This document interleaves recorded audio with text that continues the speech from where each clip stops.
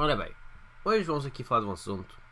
E desculpe aqui vezes estar tipo, a mudar os meus olhos para um lado e para o outro, porque tenho aqui dois ecrãs e um tem aqui a preview e este aqui tem a câmera. Mas pronto, mas acho que vocês não vão se importar muito. O que é que acontece? Um, vejo muitos youtubers assim a dizer, e por acaso este, o que me fez fazer este vídeo por acaso foi o, o recente vídeo de Batateca a dizer uh, RIP YouTube. E eu concordo com 90% do que ele diz, excetuando uma coisa que muitos youtubers dizem, que é a dita censura do YouTube. Um, ora bem, quando nós falamos de censura, supostamente inclui apagar o vídeo. Inclui apagar, inclui escondê-lo do ar, inclui um montão de coisas. Agora, o que acontece atualmente no YouTube não é bem censura. O que, o que acontece atualmente no YouTube é tu perdes uh, a possibilidade de ganhar dinheiro com aquele vídeo. O que naquilo não significa censura. Pelo menos a meu ver. Pelo menos assim. Vais é sentir-se que há menos motivado para fazer aquele vídeo. Eventualmente. Isso é outra coisa. Mas agora, há uma coisa que gostava aqui de por acaso discutir até neste, neste vídeo até. Vocês podem deixar aí nos comentários isso. Se realmente acham isso censura ou não. Por mim acho que não acho que é censura. Porque censura inclui uh, apagarem-te vídeos, uh, apagar, uh, tirarem partes de áudio do que tu estás a dizer e não é bem o que é que está a acontecer. O que está a acontecer basicamente é eventualmente tu como tens a, a, a monetização ativada tens logo as consequências porque sabes que aquele tipo de conteúdo eventualmente não é monetizável. Eventualmente com segundo as regras do YouTube. Ou seja, se tu não monetizares o vídeo, eventualmente não há problemas. Eu digo por experiência própria, a única coisa que eu tive, os únicos problemas que eu tive no passado foi, e isso foi um erro meu, não um erro do YouTube, foi um, ter deixado a monetização, ativa num vídeo, uma gameplay qualquer que eu fiz de, de, qualquer coisa, de algum jogo da Nintendo, acho que foi de Mario Kart, se não me engano. Eu fiz um, um, fiz um torneio de Mario Kart e eu, pronto, pensei, olha, vamos, vamos tentar ganhar um bocado de dinheiro com isto, vamos ganhar uns cêntimos com isto. Uh, e pronto, recebi ali uma notificação da parte da Nintendo a dizer que, que pronto, não devo, não devo deixar aquilo com a monetização ativada. E eu pronto, eu lá deixei, tirei, o, uh, tirei a monetização e depois mais tarde se vocês até tentarem procurar no meu canal, acho que nem sequer existe agora. Mas o meu canal tem várias gameplays da Nintendo e não tenho problemas nenhums. E muita gente aqui neste YouTube diz: Ai, não façam gameplays da Nintendo, não façam gameplays da Nintendo porque, hum, porque vão ter copyrights e depois vão ficar sem canal. E isso é um bocado mentira. Quer um bom exemplo? Olha, eu tenho. Eu conheço aqui um youtuber, assim, não conheço pessoalmente, mas sei o canal dele. É português, ele não fala, mas faz gameplays, um montão delas, que é o Shiryu Giel. Vejam esse canal. Esse canal tem milhares e milhares de gameplays da Nintendo. Tá, foi bloqueado? Foi banido? Foi censurado? Não. O que é que ele fez? Não tem, não tem monetização ativada? Ou se tem algum tipo de anúncios, é só própria da Nintendo que está a lucrar. E, hum, e agora vocês perguntam: então como é que um canal sobrevive com isso às vezes? Às vezes sobrevive só apenas por vontade própria. Tipo, ou seja, a pessoa gosta de publicar conteúdo e não quer saber se vai ganhar dinheiro ou não. Apenas gosta de publicar coisas. Isso é o que o YouTube, isso é o que fez o YouTube crescer no início. É o que 90% das pessoas que quando fizeram YouTube em 2007, 8 e mais ou menos até 10, quando 10 começaram, começou assim podemos dizer o YouTube Money a surgir um bocadinho mais um bocadinho mais para as pessoas. E em 2013 se destacou quase a personalidade das pessoas. E isso é que, é que arruinou um bocado tudo, que é atualmente nós vemos quase pessoas a fazer YouTube e só fazem pelo dinheiro, não fazem pelo simples gosto de fazer vídeos, não o simples gosto de deixar ali o seu pronto, ok, eu vou fazer isto, eu não quero saber se, se vou ganhar dinheiro, eu apenas quero saber, quero divertir-me e, e publicar isto. Isto era o que era o YouTube, esta é a ideologia do, do YouTube há, há anos. Só que estes recentes anos, para os últimos 5 anos, é mais ou menos até desde 2013 para aí, as coisas foram mudando, foram mudando e para pior, porque é sempre, foi sempre focado para o dinheiro.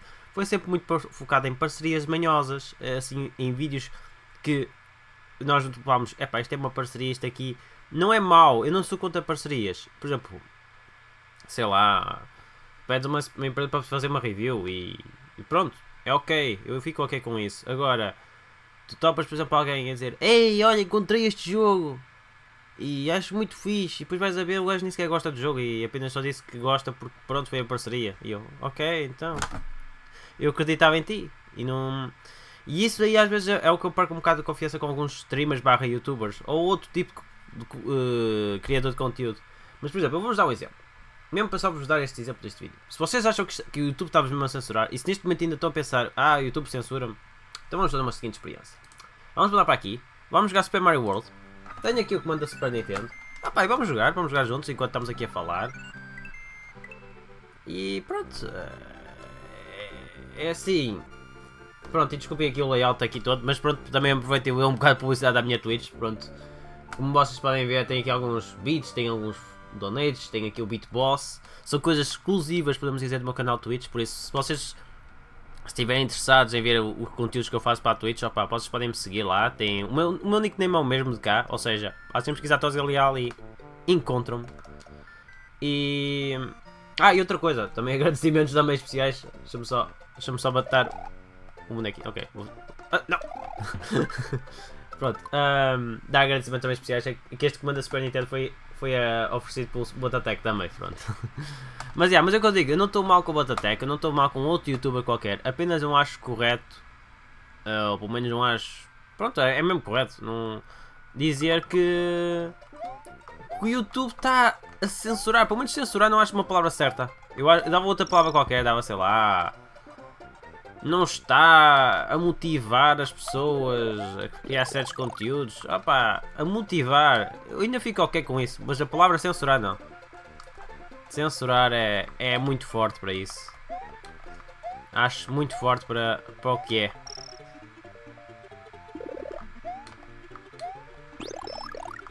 Mas pronto, é o que eu digo, não tenho mal. Eu, eu por exemplo, e eu e muitos, como o Batatec tinha dito, o pessoal está-se a sentir cada vez mais à vontade de ir para outras, outras plataformas porque pronto, sentem-se mais à vontade. É, acho que é mais o facto de sentirem-se mais à vontade com o que podem.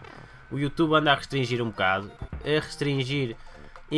A restringir para quem quer fazer dinheiro. Porque quem não quer fazer dinheiro, acho que o YouTube ainda está mais ou menos ok com isso. Apenas desde que não ponhas pornografias. Apesar de, pronto, às vezes há casos. Há umas exceções que honestamente, pronto, enfim. Mas tirando as exceções de parte e depois pomos agora quase tudo de parte, depois vemos, vemos no final das contas.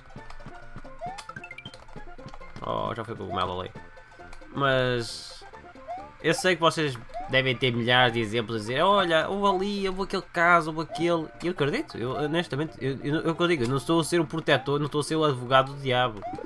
Apenas eu acho é que é exagerar dizer que o YouTube está a censurar, é PID. E que já vi pessoal comprar com a pizza. Eu vi, fogo, isso aí daqui a pouco o quê? Vamos dizer que o YouTube é nosso! O YouTube é nosso! Tipo, e coisas assim do género, meu. Tipo, eu não percebo. Mas pronto. Agora aqui aproveitando outra vez, pronto. Twitch. Pesquisem no Twitch e pesquisem no Leal.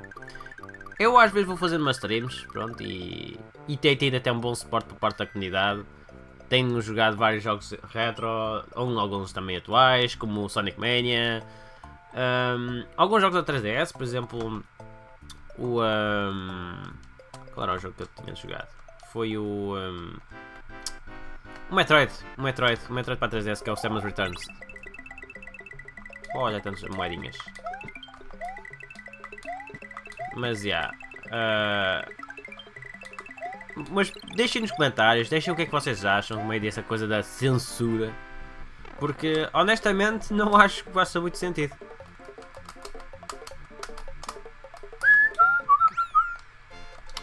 E agora desbloqueamos aqui uma cenazita. Mas pronto. Espero que tenham gostado do vídeo. Desculpem se eu enchi um bocadito, mas não vou, não vou deixar passar os 10 minutos. Eu estou a olhar para o, para o contador, mas eu não vou deixar passar 10 minutos. Um, e, uh, e pronto. Deixo-vos então com o final deste vídeo. Espero que vocês tenham mais ou menos percebido um bocado a minha perspectiva. E opa, deixem nos comentários, deixem a vossa opinião, por favor. E agora vou-me parar, que senão vocês vão se dizer Ai, 10 minutos, mas não tenho publicidades. Ou se tiver agora, e eu até ficar a experiência, se vocês virem publicidades, é porque foi a Nintendo. Por isso, foi.